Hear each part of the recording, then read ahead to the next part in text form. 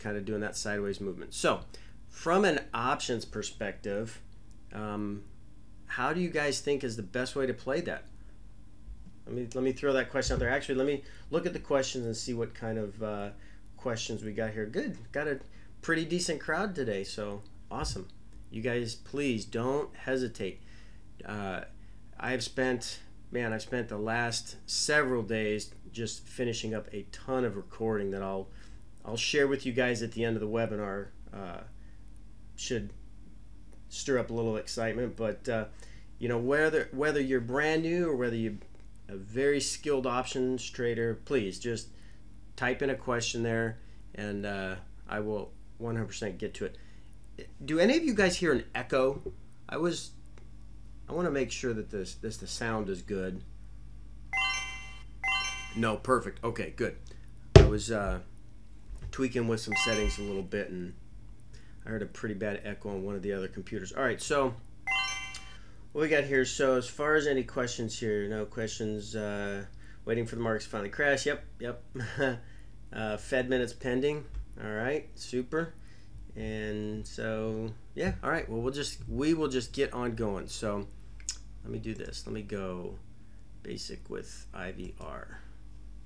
All right, so this is uh, again one of the indicator windows in thinkorswim that just gives you talking about volatility where the volatility level is at in uh, whatever underlying you're viewing or looking at. So if i'm looking at spx if i want to look at you know deckers is a trade that we're going to talk about today and or if i want to look at disney that was a chart that i talked about uh, this past week. You know we want to know where the options are trading at and how they are priced in relationship to where they have been in the prior one or two or three years. And this gives you a good a good visual of where the volatility is at for options. So again if we want to just let's just go back and let's just talk about this for for a brief second. You know the whole game of options trading is you are you are buying and selling time and you are leveraging your position against shares of stock. And for every one option that you buy or sell you are controlling either long or short 100 shares of stock. So if i have if i want to model buying 100 shares of decker right that's what it gives me i Deckers goes up, I make. Deckers goes down, I lose. There's no time component to it at all. And just so you know, um, this is how I used to have my screen, and I've changed it to this because it's going to help you guys see visually uh, profit and loss along these little bars down here. So if any of you notice that that's different, uh, that's where you change it at right here. Okay, it lets you just kind of toggle back and forth between uh, different trade profiles. But when you are long 100 shares of Decker stock, that is your risk profile. Dotted T plus zero line tells you what today's is. This gives you the expiration graph, which it will default to 365 days from now because you'll own this stock forever, right? Options, on the other hand, they have defined time periods when they're going to expire. And they're gonna these will expire in three days these will expire in 31 days 59 days etc and you'll see that on a price chart on an options chain where it it will tell you in layer how many days until these options expire so all we are doing as options traders are we are we are controlling shares that we don't own right by buying or selling options and when we do that well, what we're doing is we are saying we are just controlling time.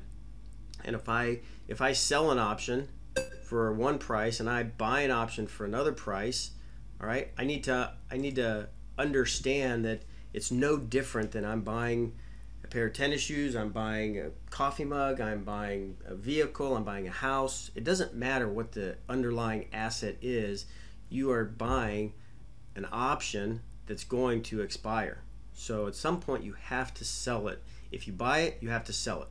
And so we we want to be aware. Another little side note, you'll see I removed SanDisk and added Disney into the 30 stocks that I want to look at. If we are looking at a chart like Disney that has low volatility, well, that means that these options are going to be relatively inexpensive if we want to buy them. But if we want to sell them, we're not going to be generating as much premium uh, as when the volatility is higher. So option sellers prefer much higher volatility environment, right? So when the volatility gets up here, say above this green line, for example, it's a bit, it's a big play at Tasty Trade. Wait till the IVR gets above 50 to sell premium. You can sell premium anywhere you want, but if you're selling premium when the volatility is low, that just means you're you're trying to essentially sell wholesale and buy it back at retail. It's a it's hard game to play, not impossible, but it's much harder than I come up here and if I'm selling an option trade or I'm selling premium, I'm selling retail and I'm just trying to buy it back at at wholesale when the options get cheaper. Does that make sense? I mean, you guys understand that that uh, approach, right? We want to buy cheap, sell high. We want to sell high, buy cheap.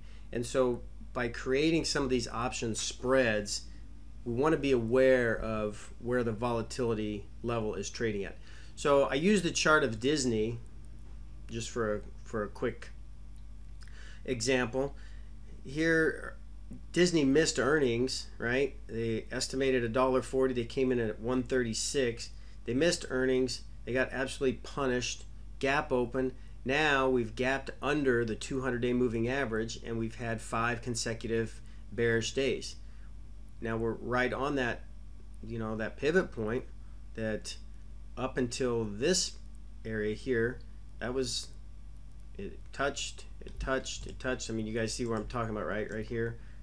This, uh, we need this little guy right here we touched here, we touched here, we touched here, and then we finally broke through, and then we came back and we revisited the 200 day moving average, but the earnings completely violated that, gapped open, and now we're trading down. So if you are looking at taking a trade or making a play on Disney, and you want to say, I need to ask myself one of two questions.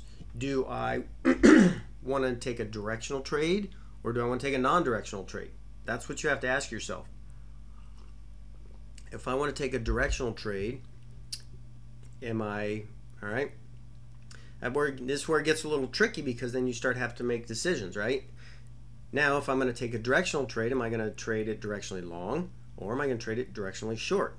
And that will be, you know, how you approach the setup for your options trade. If I am no opinion, and I'm just going to say, well, you know what? I don't think this gap's going to fill. I think the 200 is going to be some overhead resistance. I'm. I think we're just going to stay sideways here, but um, you know, I'll wait until I uh, the market proves me wrong. So then you you put a trade on that has no directional opinion. It's delta neutral, and each day that passes in time that it doesn't move anywhere, you collect daily theta. And so all that theta means is each each day that passes as you get closer this option expiring if we look at we go way out here in time say 248 days from now. These options expire the third Friday of January 2017 you can see layered all up in here the what the option prices are going to cost you. And so $6.18 for this one is the same strike price, just different time, much closer to expiration than this one at 453. So the closer you keep getting to expiration, that that time value, that option price is decreasing until at expiration, right? Your option price is going to be either in the money or out of the money. It's either going to be 100% intrinsic value, meaning that this option that is now in the money, it's in the money on the call side here, the uh, above 100 is in the money on the put side, is now there's no time value left. Time has gone. Time is wound down. It's over. And you'll notice that as you get, say, we'll just open up this one here. When you get deeper in the money on these options, this is the put side, deeper in the money, you still have options that trade, but if there's no open interest and no volume, all right, let's this person right here, there is somebody that owns an option contract at the 65 strike price for for Deckers now. We're talking about Deckers. I mean, I can go to Disney, but you'll see that there's one option right here that somebody has bought and another party has sold at the 65 strike price that's going to expire in 2 days. So I want to ask you a question. If you are this person right here and you are you have bought this put option, that means that you have the right but not the obligation to put this 100 shares of stock to somebody at $65 a share. If you have sold that option contract to somebody, you're going to get the stock put to you and you have to go out and purchase that at $65 a share and give it to that person who bought it. So the person who bought this put option is extraordinarily happy depending on what their you know price was that they paid for it. The person who sold this is not so happy unless you have something to protect it. All right? So that's why we don't ever sell naked options. We're always going to have a protective hedge. and that's what a, a calendar trade is. You're buying and selling options simultaneously. So I'm, I'm, seriously, I'm not trying to make this oversimplified, but I really feel like I need to take a step back and just unpack, you know, these option spreads, what it is that we're trying to accomplish, how they actually perform, and, and why when I start saying, well, I'm looking at a chart that has low volatility, why that influences or why that impacts a trade.